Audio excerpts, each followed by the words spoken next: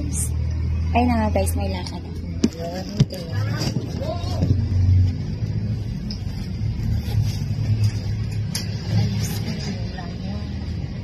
Guys, pupuntahan namin yung truck na pinaram sa kaya abangan natin guys.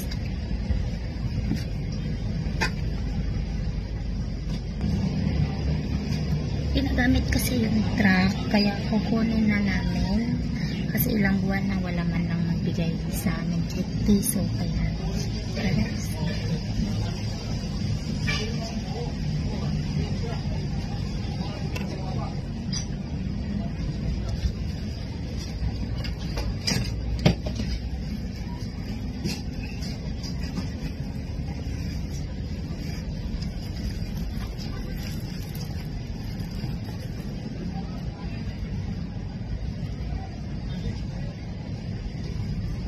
kailangan natin naka-jacket kasi motor lang tayo.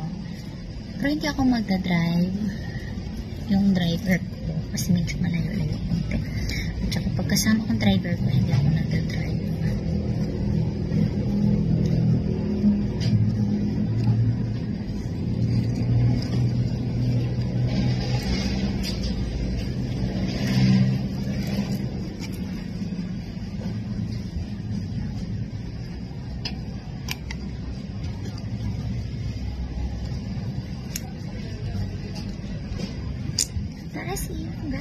See you later, guys. Yung anak mo, bantayan mo.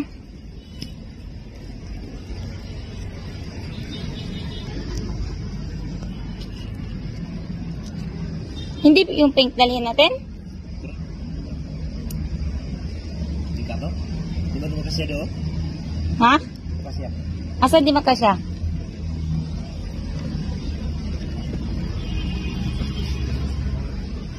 See you guys.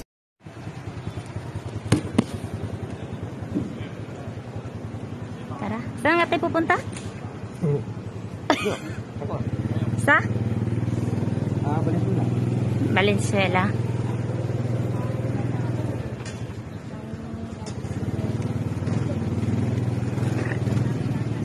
Ngayon, anong na yung rin, oh. Saan? Dito, dito na? Ito yun. Bakit?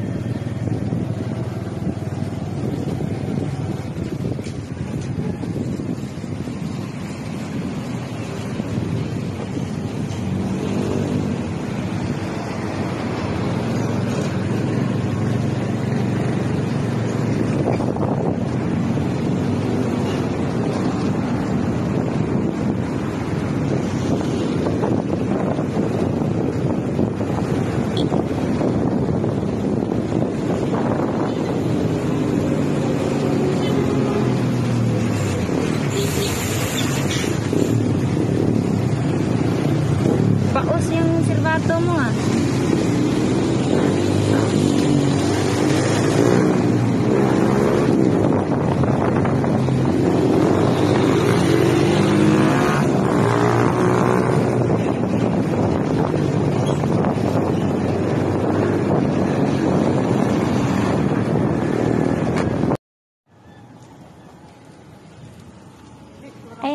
guys, nandito na tayo. Um, okay naman, wala namang problema, ibibigay naman nilang truck.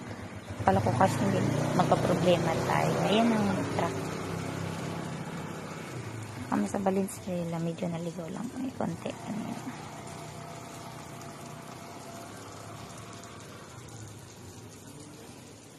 Hindi ba yung mag magpatay-patay yung motor ni boss? Yes. Ako na lang magdala niyan. Baka kasi bandang kalagitnaan, bigla yung magpatay eh. Kasi ito na lang kunin yung number kayo makipag-usap. Kasama na lang yan doon. Pag da- ganyang mga ano, kayo na lang mag-usap. Basta nga- wala ka ba kahit kalahati na lang dyan ngayon? Pati pa yung pamangkin ko. Mga kamukha dati. Layo pa namin. Magkakain to, wala sa amin.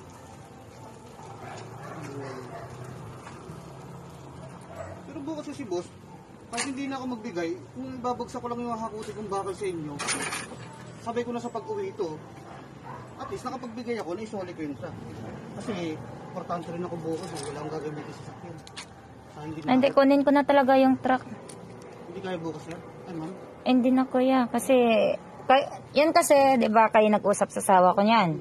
Di ba, hindi nga yan pinaalam sa akin, na kukunin mo, ano, halos nga ang, pati ang original ipapadala eh. Eh ako kasi, hindi talaga ako pumapayag sa mga ganyang bagay, kaya hindi siya nagpaalam sa akin. Kaya ngayon, ako naman ang kinukulit niya dahil nga dun sa balance mo sa amin, at saka yung dito sa truck. Kaya sabi ko, bago uwi yung driver, kukunin kong truck at baka meron ka din kahit kalahati lang, ko kukunin ko talaga. makakapangako mo kasi talagang walang wala. Kasi nung kausap kasi kita, di ba sabi mo, next week. Yes, ma'am. eh, Siyempre, hindi naman ako talaga nakaka... Ano talaga? Siyempre, maliit lang rin pupunan. Hindi naman ganun kalaki. Natatapat-tapat na rin talaga. Makikita.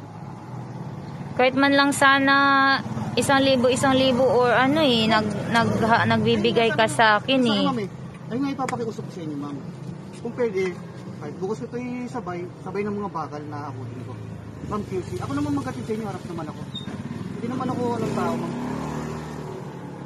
Kasi kung naman tutuusin, tao eh. kung tutuusin, na binta mo ng malutong, na deliver mo na, na, na, na pera na, eh sa amin, nagiging ano pa, inihintay ko pa yung nabinta sa kalakal namin. So, ngayon, ako naman ang mag-ano sa iyo na baka meron ka dyan. Hindi. Ah, ma'am, ito na na, ma'am. Yun na ipapakiusap ko, ma'am. Sorry ko bukas yung bra kasama ng mga kalakal. Walang problema sa akin, ma'am. Kahit man masama ang puhunan ko. Kasi hindi mo naman siguro ako masisi, di ba? Na kung bakit kita ma sinisingil ngayon at kukunin kong truck kasi ako kasi isang salita ko eh. Pag sinabi, sinabihan mo ko at pinapangakuan mo, yun din talaga ang pinaghahawakan ko. Eh, at saka, naintindihan mo naman din siguro na kuku, ano, nasabi ko to kasi na-deliver mo na yung items na kinuha mo. Tapos, na pera mo na, ay paano naman kami? O, yun na nga eh. Ang pangako mo kasi, ano, in, o, inasahan ko din yun.